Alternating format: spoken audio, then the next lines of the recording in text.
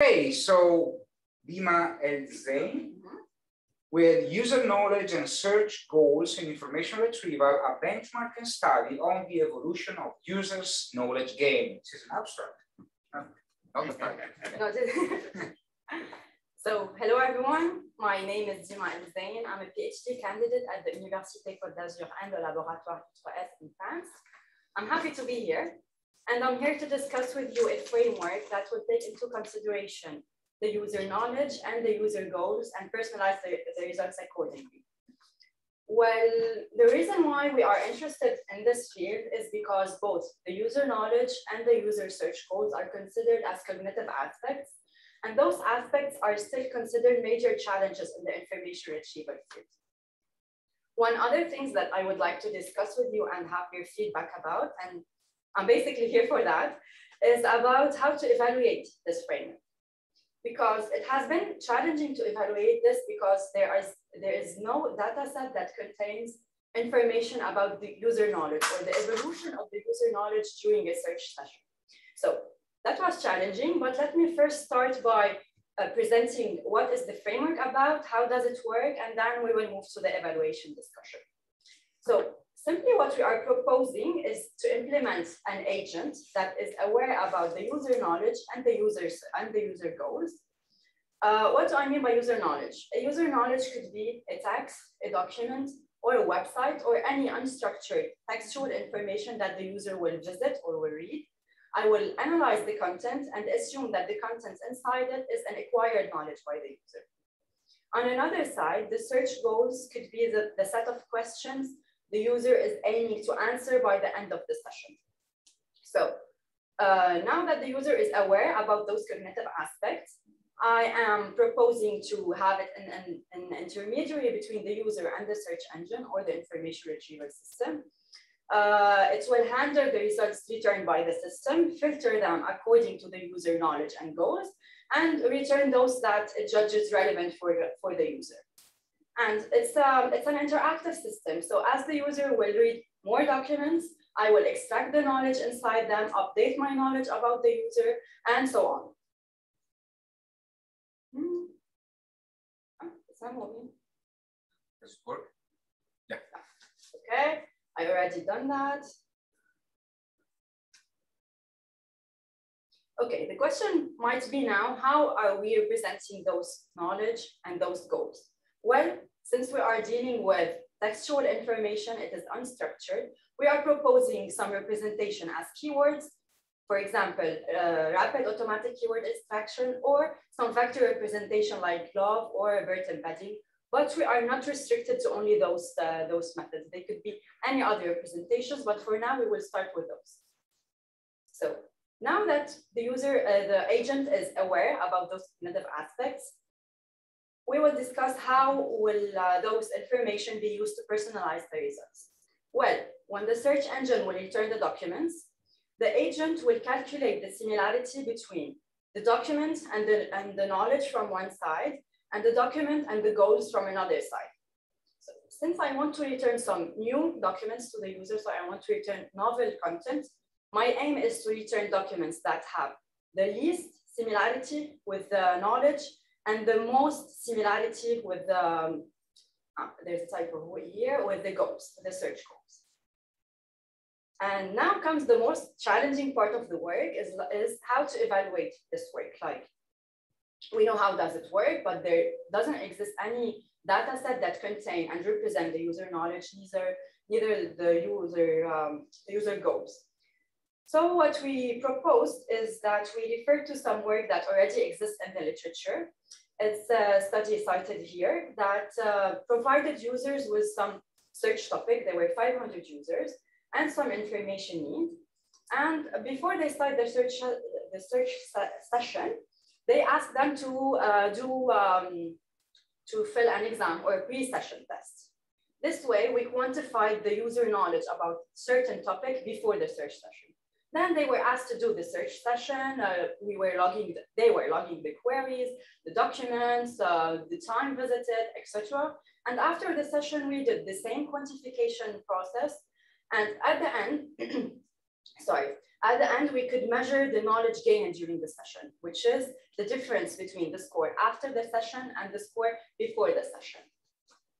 That was the work already existing in the literature. What we did is that since we already have for every user, the set of submitted documents, the set of submitted queries, and at the end, I have the total knowledge gain for, for, for the sum of the session.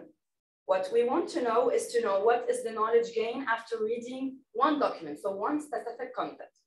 To do so, we did some linear regression uh, to, that allowed us to know what is the gain acquired after reading one single document. Now that we have that, we could plot the cumulative knowledge gains. So as an example, for a specific user, user one, he, he submitted four queries, one document for each query.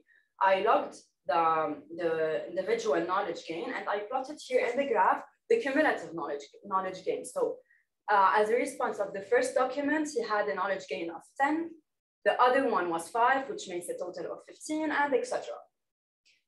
And I make of out of this my benchmarks, since there is no benchmark to compare my work, work to. So now that I have my benchmark, it's time to evaluate it, my, to evaluate the framework. What we are proposing is to build a framework.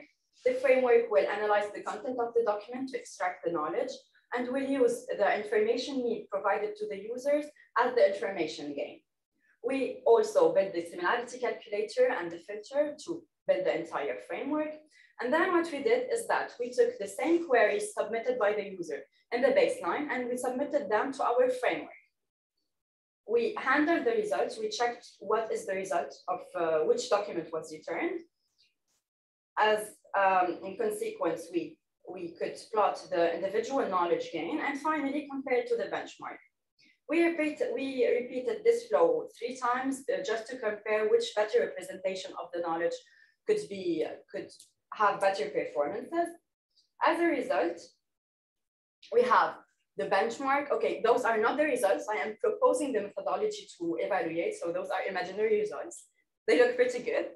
So uh, I have a benchmark and the benchmark, the user, so when submitting the user, the query one, read the document 15, then 25, then 39, then D2. While comparing to the framework, it proposed another set of documents. And then the graph here, I am plotting the difference between the evolution of the cumulative gain between, between the two. I would like to point out here that out of the 500 users, we did not apply the experiment on all of them because many of them had some previous knowledge about, uh, about the presented topic. What we are proposing to do is only to consider those who scored zero in the pre-session. This way we are assuming uh, or we are confirming that they don't have any knowledge about the proposed topic. So uh, this is how uh, I am proposing to evaluate my uh, method. I appreciate your discussion and your feedback if you have any. Thank you.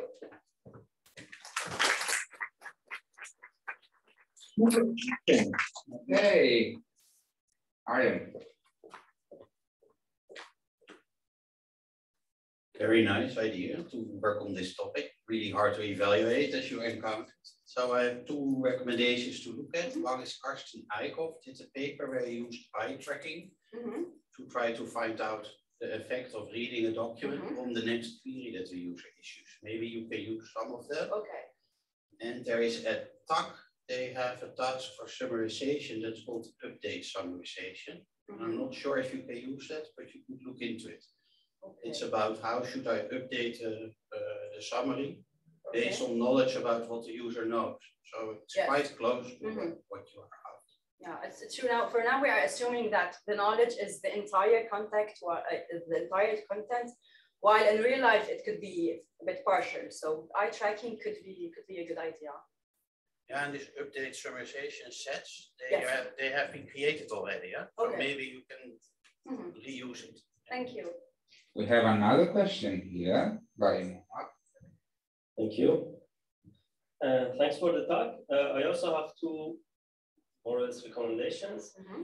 uh, one is, I think, one problem that could arise from such a system is that when users, yeah, uh, when users try to refine some documents or try to get deeper knowledge in a, in a topic. So if your, uh, your assumption is that you want to deviate from the user's knowledge and be closer to the topic, mm -hmm. the query, so you should find the trade-off here.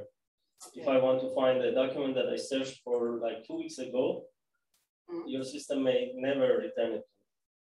So I think that's something to consider in the future. And another recommendation is uh, for evaluation, I see that it's uh, very difficult as you it mentioned. yes. Uh, so you might want to use uh, user simulations. So if you look at the works by Leif Azzopardi, okay. he did so many works on simulated users, how you can simulate queries, simulate the behavior, the knowledge. So those could save your okay. life, basically. I consider that. Thank you. Sure. Thank you. We have a question online. David, you can speak. Can you hear me? Yes. Yeah. Um, so it sounded like one of the challenges that you were looking at was how to figure out like how much someone gained in knowledge from one particular document, right?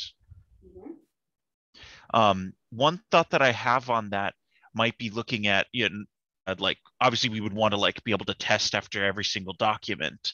Another way might be able to look at like how much relative time people are spending on a page actively like moving the mouse and scrolling up and down things like that. Um, and then if you take that relative time that people spend on pages divided by the total knowledge gain you might get some sort of evaluation there.